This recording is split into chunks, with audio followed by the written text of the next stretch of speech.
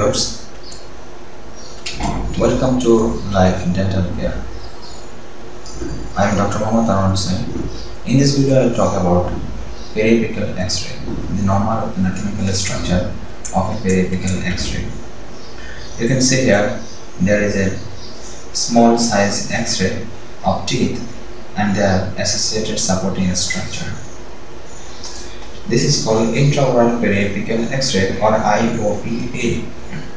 This IOPA or small size intraoral periapical X-ray is an essential tool, diagnostic tool for dental surgeon. This small X-ray is also cost effective and any patient can bear the cost. This is very much important X-ray.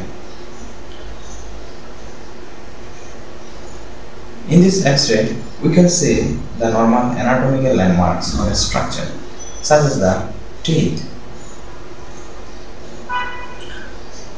their root morphology, and the periodontal ligament space of the teeth. You can see here, this is a radiolucent line and here the periodontal ligament are present.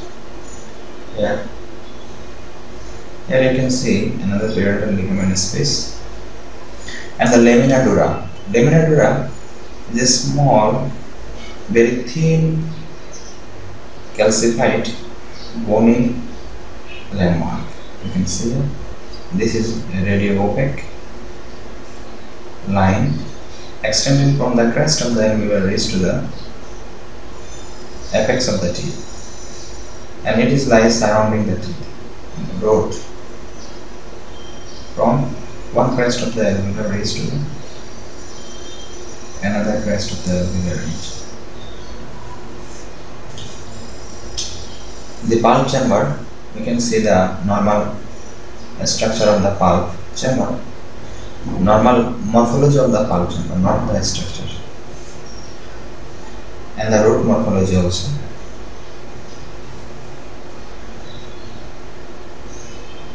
and the associated bone. In periapical X-ray, we can see the trabecular pattern on the bone of the jaw. This is a trabecular pattern of bone. You can see here. This is an interradicular bone between the roots of the multi-rooted teeth.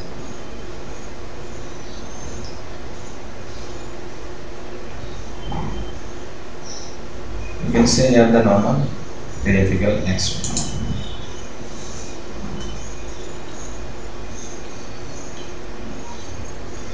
By periapical X-ray, we can see the developing teeth present below the deciduous teeth.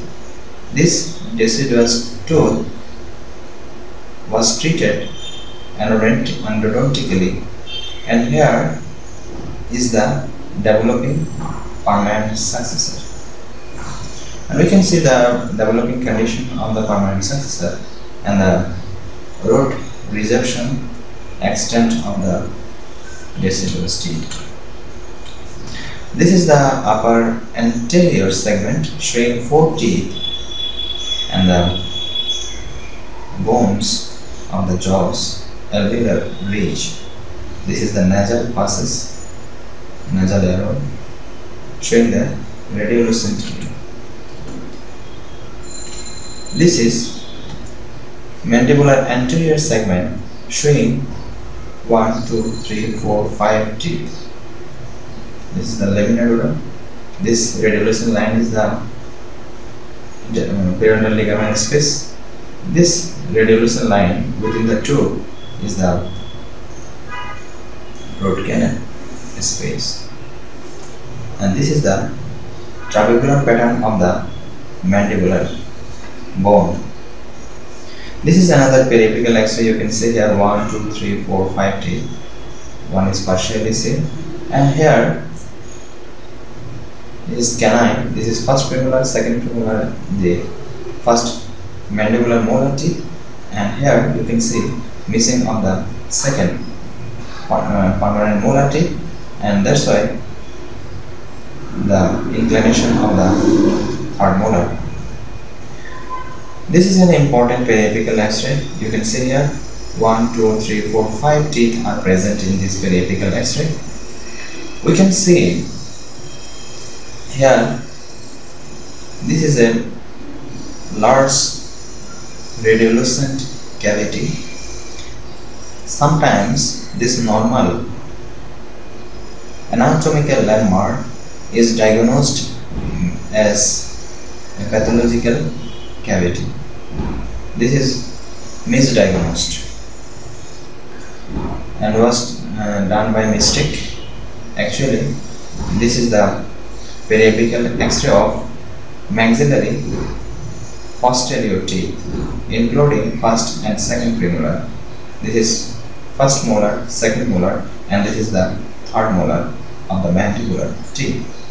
And this radiolucent cavity is the maxillary sinus. You can see here the border of the maxillary sinus. This maxillary air sinus containing here, and that's why this is radio lucent cavity. From periapical X-ray, we can diagnose the different types of diseases such as occlusal caries, the proximal caries, the root caries, and the periodontal health such as the alveolar bone loss, vertical, here you can see the horizontal bone loss here. And we can also see the vertical bone loss.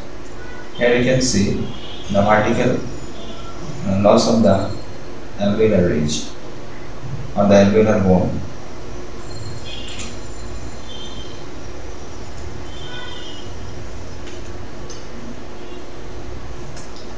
Intraoral periapical X-ray is used for the uh, diagnosis of the different types of the teeth associated the pulpal pathology such as the periapical pathologies, cyst, small cyst and apical pathologies may be any type of tumor and granuloma. Intraoral periapical X-ray also an important diagnostic tool for the determination of the working length during root canal treatment. We need to done the intraoral periapical X-ray for determination, determination of the length of the root canal for working length determination, an important step for root canal treatment. An endodontic mishap also diagnosed in most cases by using periapical X-ray. Here you can see instrument separation beyond the apex. It might be a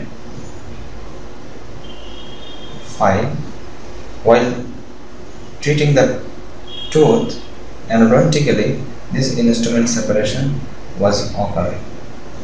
This is endodontic mishap was diagnosed by periapical X-ray. Periapical X-ray can be diagnosed for the disease of the dental and also periodontal problems. Periodontal status can be seen from a periapical X-ray. You can see here the pocket formation here and the vertical uh, horizontal bonus here and the periapical pathology here.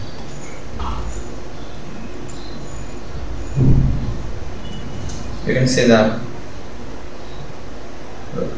crown morphology and gross caries of the teeth. Before extraction of any teeth, we need to do periapical X-ray while doing one, two or three teeth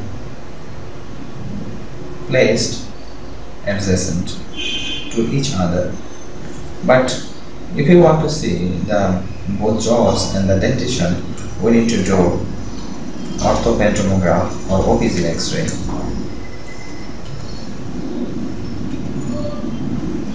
But OPG X-ray is a rough X-ray and represents the magnification of the teeth and the associated structure.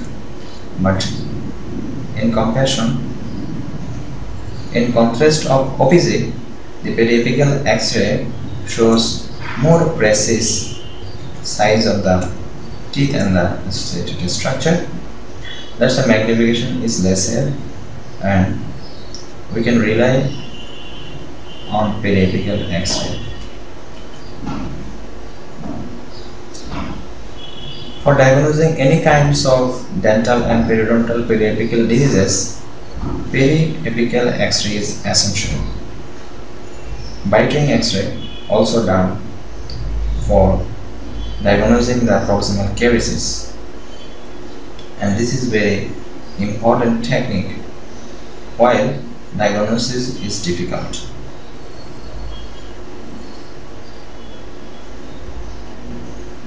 so I think this video will be helpful for you. And share this video with your friends.